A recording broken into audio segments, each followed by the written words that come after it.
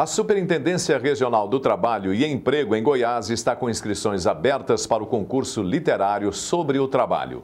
O concurso é uma homenagem aos 70 anos da instituição. Ele é patrocinado pelo Sindicato Nacional dos Auditores Fiscais do Trabalho e a Federação do Comércio do Estado de Goiás. As inscrições podem ser feitas até o dia 1 de abril. Informações pelo telefone 3227 7088.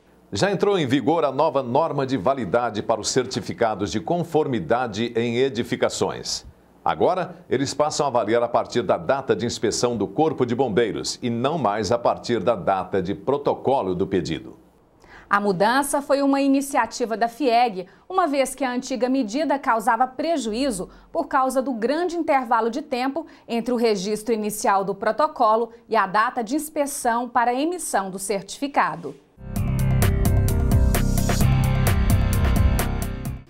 O Senai hoje é o principal órgão que nos ajuda na formação de mão de obra.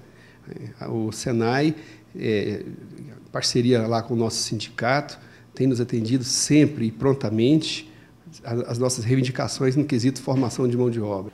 Confira agora as ofertas de estágio do Instituto Euvaldo Lodi.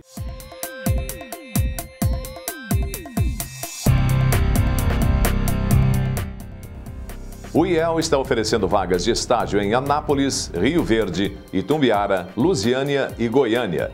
São oferecidas vagas em diversos cursos de nível superior, cursos técnicos e para o ensino médio. O IEL atende alunos e indústrias. Acesse o endereço www.sitedoestágio.com.br.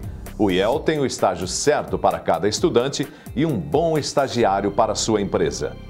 Ontem, 8 de março, foi o Dia Internacional da Mulher. A data é uma homenagem aos movimentos feministas que durante séculos buscaram mais dignidade para as mulheres e sociedades mais justas e igualitárias. Mas apesar dos avanços da legislação, das conquistas sociais, da presença feminina em todas as áreas, em pleno século XXI, a mulher ainda continua sua luta por liberdade, não só de direito, mas de fato.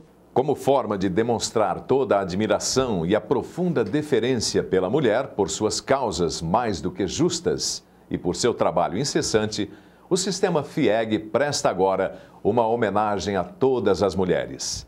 Empreendedoras, mães, chefes de família, executivas, representantes políticas, trabalhadoras.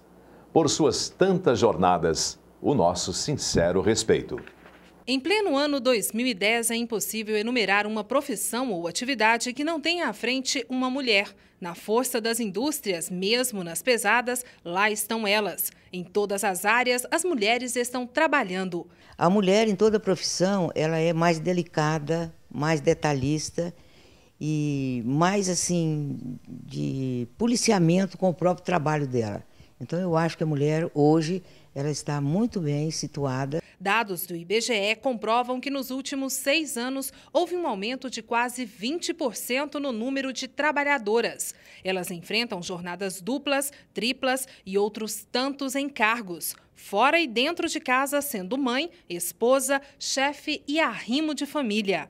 Eu acho que nós estamos de parabéns. Né? Hoje as mulheres com empresas que são referência no mercado, né? não são poucas. Hoje nós temos grandes empresárias dirigindo empresas, comandando homens. Pessoal e profissionalmente, as mulheres estão ao longo dos tempos e a despeito de todos os reveses, assumindo, dividindo e ajudando a construir a nossa história. A mulher é, a única, é o único ser humano que tem o destino de ser mãe, que essa é uma das maiores glórias que uma mulher pode obter na vida, ser mãe. E, e a mãe é, é a educadora natural, é a primeira educadora. Essa data deve ser reforçada e lembrada sempre a cada dia para que nós não percamos assim não é, não percamos de vista o, o, to, o topo onde nós queremos chegar que é de uma sociedade fraterna igualitária né humanista e nesse ponto a mulher tem um papel importantíssimo Senai tem dado a contribuição, vamos dizer assim, especial para o, para o sindicato. Em todas as vezes em que o procuramos, todas as vezes em que buscamos orientação, necessidade que nós temos, as empresas têm de curso, o Senai tem nos atendido. Então, eu diria que a parceria do Senai com o sindicato é muito proveitosa. Você vai ver daqui a pouco o seminário sobre burocracia.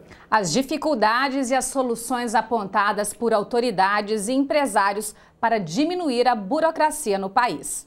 Depois do intervalo.